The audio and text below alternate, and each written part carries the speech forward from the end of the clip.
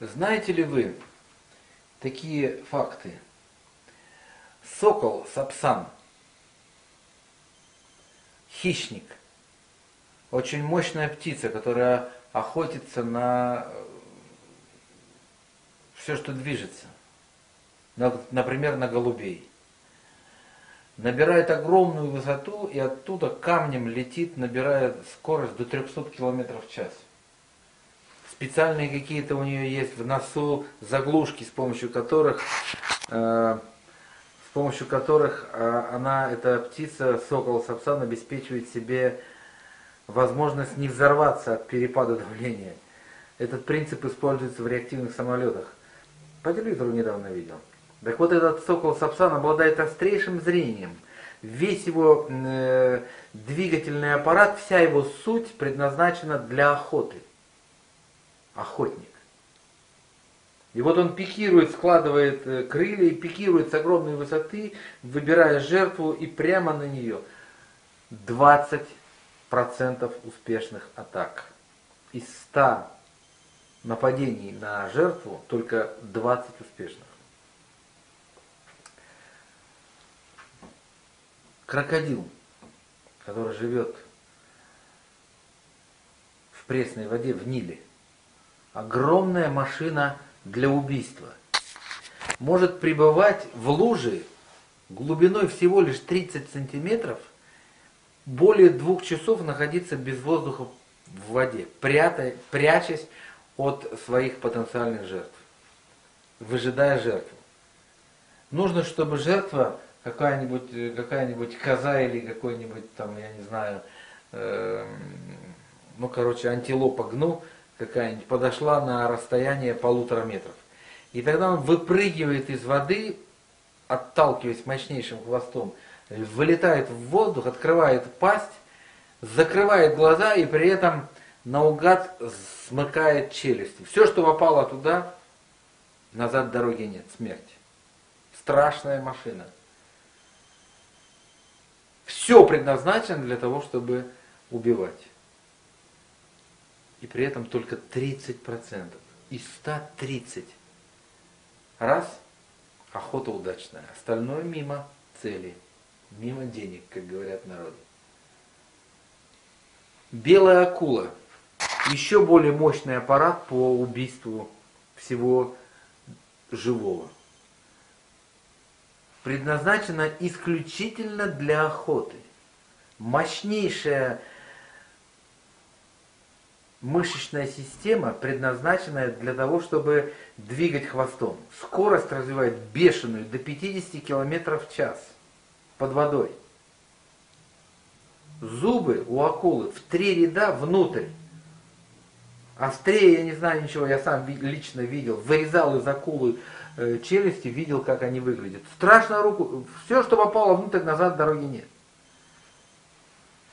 Охотится на котиков, например, морских. Вылетает с огромной глубины со страшной скоростью и выхватывает этого несчастного котика. 50 на 50. Всего лишь 50 раз из 100 он удачно выходит э, в финальную часть охоты своей. Странно, вообще-то. И, наконец, гепард. Гепард в Африке живет, э, животное.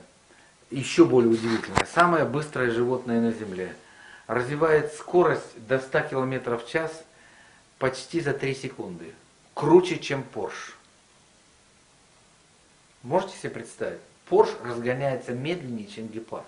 Благодаря механизмам которые природа, Бог заложили в это животное. И вот с этой бешеной скоростью он мчится за, за жертвой, но долго не может с такой скоростью бежать. Тоже всего лишь 50% удачных сделок, хотел сказать, удачных охот. К чему я это рассказываю? Если животные, которые ничего другого не знает, им надо выжить. У них повышенная мотивация, они не знают, что такое лень. Они не знают, что такое непрофессиональная охота. Они не знают, что такое отсутствие мотивации, э, выходной. Или... Их гонит вперед инстинкт, э, желание обеспечить значит, себя кормом, потому что иначе они погибнут в этих условиях, и прокормить свое семейство. Вот что ими движет. И тем не менее, они безропотно, спокойно, как само собой разумеющееся, эти суперохотники имеют выход 20, 30, максимум 50%. Остальные еще хуже. Промахнулся и идет искать дальше, без всяких разговоров. Я хочу, чтобы все, кто пытается заняться сетевым бизнесом, понимал, что далеко не 20, далеко не 30, не 40 и тем более не 50 процентов выход у самых лучших сетевиков. Далеко не так. Далеко, далеко, далеко, далеко не так. Потому что сетевики рождены не охотниками, не профессиональными сетевиками. Они рождены кто колхозником, кто поваром, кто офицером, кто бухгалтером, кто бездельником, кто студентом, кто никем вообще. Все приходится перенастраивать, искать мотивацию, самое главное. Вот с голода не подыхает, работать не начинает. А там сокол сапсан, ему надо лететь, птенцы кричат, дай покушать. Поэтому это все я делаю только для одной единственной цели. Если вы зарабатываете деньги, если у вас подписывается каждый двадцатый, вы супермен, вы круче гепарда.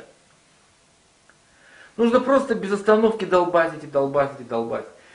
Самое главное, что нам не надо тратить такие страшные физические усилия, как гепард, у которого в результате этой бешеной гонки выделяется молочная кислота, и его вся ядерная энергия, которая в нем, она вся замирает, и он больше не может бежать.